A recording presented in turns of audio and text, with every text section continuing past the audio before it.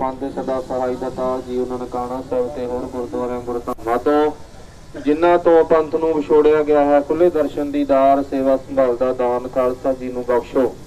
ਇਹ ਨਮਾਣਿਆਂ ਦੇ ਮਾਣ, ਨਤਾਣਿਆਂ ਦੇ ਤਾਂ ਨਿਉਟਿਆਂ ਦੀ ਓਟ, ਸੱਚੇ ਪਿਤਾ ਵਾਹਿਗੁਰੂ। ਧੰਨ ਧੰਨ ਸਾਹਿਬ ਸ੍ਰੀ ਗੁਰੂ ਜੀ, ਧੰਨ ਸ੍ਰੀ ਗੁਰੂ ਗ੍ਰੰਥ ਸਾਹਿਬ ਮਹਾਰਾਜ ਜੀ।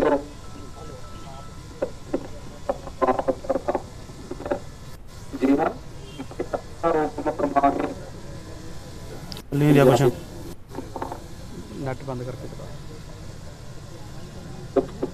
ਦੂਜਨ ਕੋ ਬਾਹੋ ਸੋ ਪਰ ਸਾਥੀਆਂ ਜੋ ਲੜਤ ਪੁਰ ਜਾ ਕਟ ਮਰੈ ਕਰ ਕੋ ਛੱਡ ਮਾਂ ਬਾਪ ਅਨੁਸਾਰ ਸਤਿਗੁਰੂ ਦਾ ਜਾਮ ਹੋ ਪਰ ਗਿਆ। ਸਰਦਾਰ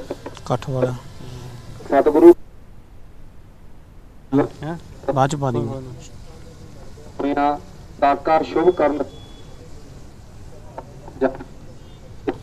ਚਾਚੇ ਨੇ ਦਿੱਤੀ ਕੀ ਨਾ ਚਾਚੇ ਸੇ ਦਾ ਲੀਲਾ ਸਿੰਘ ਪਾਦ ਨਾਲ ਪਤਾ ਨਗਰ ਬੱਲੂ ਦੀ ਧਰਤੀ ਧੰਨ ਗੁਰੂ ਹਰਗੋਬਿੰਦ ਸਾਹਿਬ ਮਹਾਰਾਜ ਜੀਓ ਆਪ ਆਪਣਾ ਵਿੱਚ ਆਪ ਜੀ ਦੀ ਪਾਤਸ਼ਾਹ ਜੀ ਦੇ ਪਵਿੱਤਰ ਦੇ ਵਿੱਚ ਅੰਤਮ ਸੰਸਕਾਰ ਅੰਤਮ ਸੰਸਕਾਰ ਆ ਗਈ ਤੇਰੇ ਕੋਲੇ। ਮੈਂ ਤੇਰੇ ਵਾਲਾ ਪਾ ਦੇ।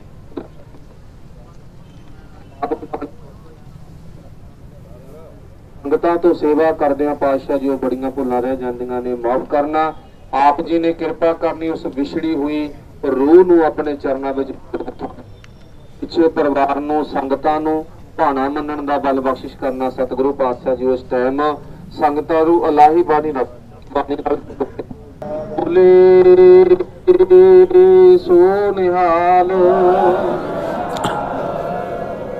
ਵਾਹਿਗੁਰੂ ਜੀ ਕਾ ਖਾਲਸਾ ਵਾਹਿਗੁਰੂ ਜੀ ਕੀ ਫਤਿਹ। ਬੇਨਤੀ ਹੈ ਸਾਰੀਆਂ ਸੰਗਤਾਂ ਨੂੰ ਕਿ ਕੱਲ ਭਾਈ ਗੁਰਦੁਆਰਾ ਜੋ ਪਾਤਸ਼ਾਹੀ ਚੀਮੀ ਨਗਰ ਬੱਲੋ ਦੇ ਵਿੱਚ ਪਾਵਨ ਸਥਾਨ ਹੈ ਦਾਣਾ ਮੰਡੀ ਦੇ ਕੋਲ ਉਸ ਪਾਵਨ ਸਥਾਨ ਤੇ ਭਾਈ ਅਖੰਡ ਪਾਠ ਪ੍ਰਕਾਸ਼ ਹੋਵੇਗਾ ਤੇ ਐਤਵਾਰ ਨੂੰ ਭੋਗ ਪਵੇਗਾ।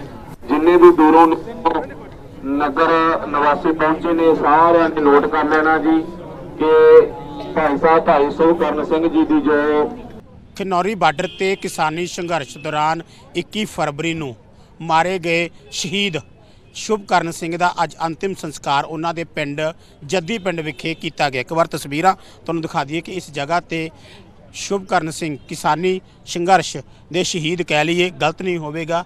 ਦਾ ਅੱਜ ਅੰਤਿਮ ਸੰਸਕਾਰ ਉਹਨਾਂ ਦੇ ਜੱਦੀ ਪਿੰਡ ਵਿਖੇ ਕੀਤਾ ਗਿਆ। ਇਹ ਜਗ੍ਹਾ ਗੁਰਦੁਆਰਾ ਸਾਹਿਬ ਵੱਲੋਂ ਦਿੱਤੀ ਗਈ ਹੈ। ਵਿਸ਼ੇਸ਼ ਜਗ੍ਹਾ ਤੇ, ਕਿਉਂਕਿ ਬੇਸ਼ੱਕ ਸਾਹਮਣੇ ਹੈ ਜਿਹੜਾ ਸ਼ਮਸ਼ਾਨ ਘਾਟ ਹੈ, ਪਰ ਵਿਸ਼ੇਸ਼ ਜਗ੍ਹਾ ਤੇ ਅੰਤਿਮ ਸੰਸਕਾਰ ਕੀਤਾ ਗਿਆ, ਜਿੱਥੇ ਉਹ- ਉਹਨਾਂ ਦੀ ਯਾਦਗਾਰ ਆ ਜਿਹੜੀ ਸ਼ੁਭਕਰਨ ਸਿੰਘ ਦੀ ਯਾਦਗਾਰ ਆ, ਇੱਥੇ ਬਣਾਈ ਜਾਵੇਗੀ।